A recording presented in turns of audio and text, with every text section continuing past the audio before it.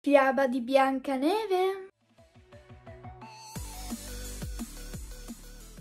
Ciao a tutti dei più grandi e più piccini, io sono Elisabeth e in questo video vi racconterò una fiaba e questa volta, come avete capito dall'inizio del video, vi racconterò la fiaba di Biancaneve, quindi buon ascolto! C'era una volta una bella principessa di nome Biancaneve, aveva i capelli neri come l'ebano, la bocca rossa come una rosa e la carnagione bianca come la neve.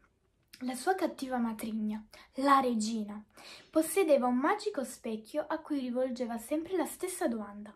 Specchio, specchio delle mie brame, chi è la più bella del reame? E sempre lo specchio rispondeva, sei tu la più bella del reame. Ma la regina temendo che un giorno la bellezza della principessa superasse la sua, vestì la piccola di stracci e la costrinse ai lavori più pesanti. Biancaneve però era sempre allegra e cresceva più graziosa che mai. Così un giorno lo specchio disse che era lei la più bella del reame. Arrabbiatissima, la regina incaricò allora un cacciatore ad ucciderla, ma l'uomo non ne ebbe il coraggio. Suggerì alla fanciulla di fuggire e non tornare mai più dalla regina. Biancaneve corse via spaventata e si rifugiò nel bosco buio. Laggiù vide una casetta. È permesso? chiese, entrando. Non c'era nessuno. I proprietari erano sette nani del bosco. Dotto, Gongolo, Pisolo, Eolo, Brontolo, Mammolo e Cucciolo. Al loro ritorno rimasero meravigliati nel trovare un'estranea in casa. Sono Biancaneve! Si presentò allora la, la principessa e raccontò la sua triste storia. I nanetti, commossi, li invitarono a rimanere a vivere con loro. La fanciulla accettò felice ma la regina scoprì che Biancaneve era ancora viva.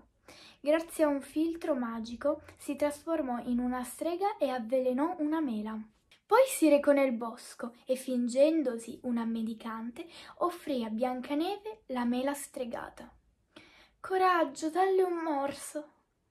Non appena la fanciulla l'ebbe assaggiata, per incantesimo cadde in un sonno profondo. Intanto gli animali del bosco erano corsi ad avvertire i nani. Eccola là! esclamarono, vedendo la strega che si allontanava veloce. Mentre la inseguirono, scoppiò un terribile temporale. I nani decisero di costruire un'urna di cristallo e oro dove posero Biancaneve finché un giorno passò di là un principe che rimase incantato dalla bellezza della giovane. Sceso da cavallo, la baciò. Quel bacio ruppe l'incantesimo e Biancaneve si svegliò. Che gioia per tutti!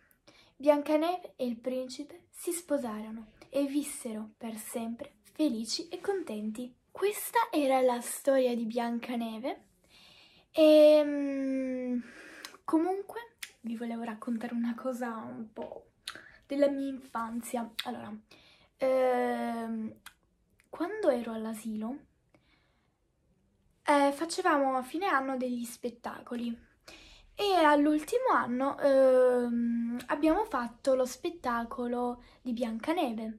Io volevo fare a tutti, tutti i costi Biancaneve, ci assomigliavo pure, avevo i capelli corti però ce li avevo un po' più chiari e quindi l'ha fatta un'altra mia compagna che però era bionda, se mi ricordo bene era bionda. E quindi a me è toccato fare la strega. Io lì, mamma mia, piangevo, piangevo perché volevo fare Biancaneve. Dicevo, io voglio fare Biancaneve e...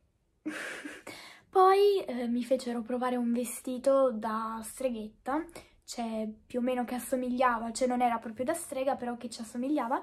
E, ehm, e da lì c'era tipo un qualcosa qua di luminoso e io sono rimasta incantata e quindi ho detto vabbè dai, faccio la strega. E poi c'era un altro mio compagno che si doveva vestire da mela. Che imbarazzo, raga, che imbarazzo! E nulla, quindi spero che questo video vi sia piaciuto lasciate tanti pollici in su, mm, iscrivetevi al mio canale se ancora non vi siete iscritti, attivate qui la campanellina per essere sempre aggiornati sui miei video e iscrivetevi anche sui miei altri social, ovvero TikTok, Instagram e sulla mia pagina Facebook troverete tutti, troverete tutti i miei nomi qui sotto nei link della descrizione. E ciao, tanti abbracci!